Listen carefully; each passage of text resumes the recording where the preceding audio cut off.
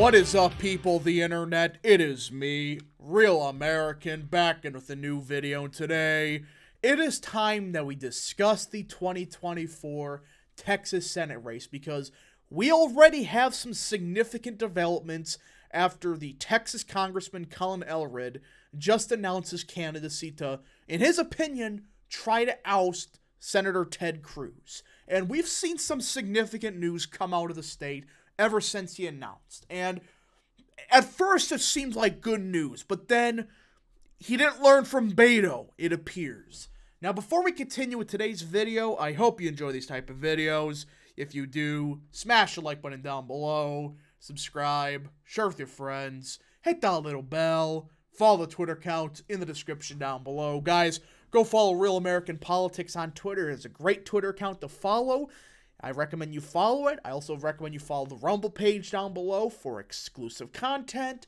And of course, I hope you join the channel. Guys, just for $3 a month, you can join Real American, which is a phenomenal deal as it helps support the daily content we all know and love. You love the daily content? Well, this is the best way to support it. So I hope and recommend you join the channel today. All right. So, Congressman Colin Allred has seeked, who is trying to oust Ted Cruz, has raised more than $2 million in just 36 hours. Representative Colin Allred, a Democrat from Texas, the former NFL linebacker who is trying to unseat Ted Cruz, ever since he launched his campaign, people are saying he's doing a great job. He's made, raised $2 million. He's also said 34 and a half, 34,000 people actually chipped in. Now, this haul illustrates that liberal donors are fired up about a chance at oust Cruz and tech, turn Texas blue. The Blexus stuff is back. Are you freaking serious? Cruz, one of the most polarizing Republicans in the Senate, narrowly beat Democrat challenger Beto in the 2018 midterm election cycle. Now, just like I've said multiple times, that was because of a blue wave, Cruz pissing off the base, and at the time, Beto being an actual solid recruit. So Allred in his announcement video, he talked about January 6th for half of it, and he, he's highlighting the fact that, you know, oh, he's a bipartisan, you know, congressman. Even though he votes Democrat 99% of the time, he's totally a, you know, bipartisan Democrat. So everything you're seeing here people are saying this is great news for Allred. Well, he already made a major blunder. When I thought incompetency from the Democrat Party was reached, they do something more. He didn't learn from Beto. Ted Cruz challenger said it would have been better if the Second Amendment had not been written. That is right. This isn't some bullshit news. This is right a quote from him. In a resurfaced video from 2018, Congressman Colin Allred, a Democrat of course, weighed in on the right to bear arms and said he did not believe the Second Amendment should have been written in the first place. Within the confines of the accurately applied Second Amendment, we can do everything we want to as far as regulated weapons and all that, Allred said. The Second Amendment does have in the first sentence in order to maintain a well regulated militia, and the right to keep bear arms shall not be infringed yeah, I just love the fact that he just mindlessly just ignores the second part. And it's two ideas there. The recent trend has been only to focus on the right to bear arms and of the well regulated militia part. What? Because it's the same thing. I mean, what? So we're going to just ignore the second part and just talk about the first half? Really? I mean, Come on now. These arguments with the Second Amendment are just stupid.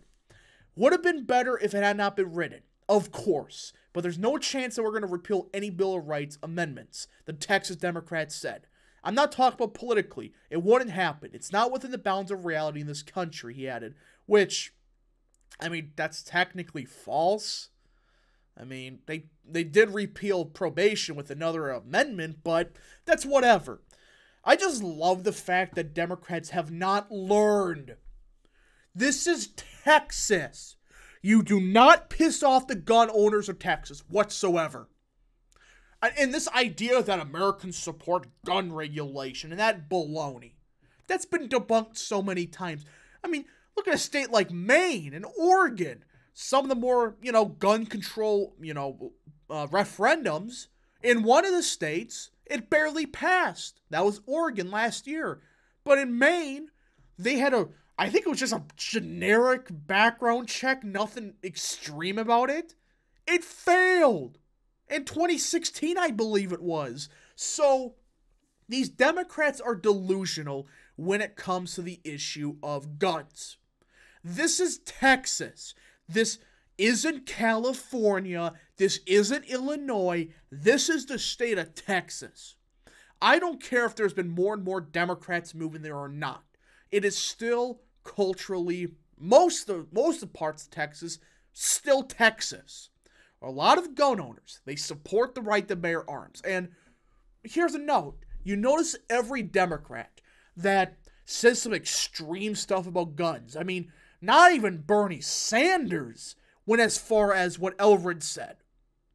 Bernie Sanders, at least, you know, he makes, you know, I disagree with him, but he sounds halfway competent on the issue of guns. I mean, I disagree with him completely. I think he has a wrong opinion, but, you know, at least you can debate and say, you're wrong, but I can understand where you're coming from. This guy's pretty much saying, we should never have a Second Amendment. How do you think that's going to bode well over in Texas? Beto said the same thing about, hell yes, we're going to take your AR 15s, yada, yada, yada. And then, well, you know, tripled down on it, then suddenly flipped on it when he ran for governor. It doesn't work. And look how bad Beto got crushed in 2022 after he suddenly flipped on guns. He lost by 11. So, this news already, I think, hurts Elverin majorly because you don't run as a statewide Democrat in Texas, or really any state, and you say this about the Second Amendment. It doesn't usually end well. You notice Democrats, they always try to paint it as common sense reform, not we're going to take away your right to bear arms. The ones that do, they usually do pretty bad at the ballot box. So already this could be a trouble sign for Elverin. Plus, his voting record on stuff like immigration. If Ted Cruz hits him, this may not be as close as many people think. I, I think Cruz wins by, I would say, you know, I'm not going to say margin wise, you know, if I had to guess, it would probably be like triple what he won in 2018, which is like probably like a six, seven point victory as of now.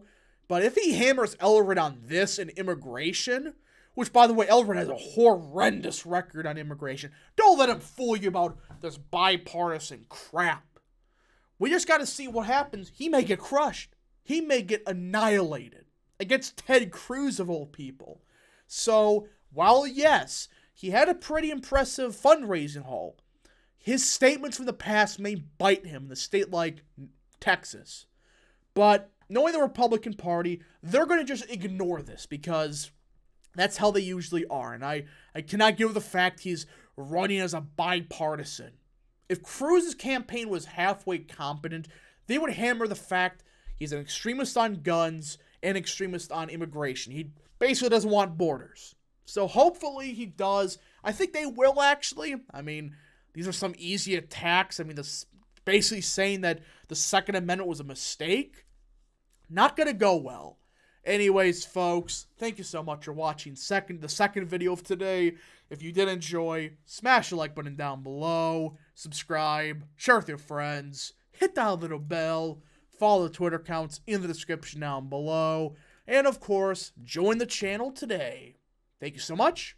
Godspeed to all of you.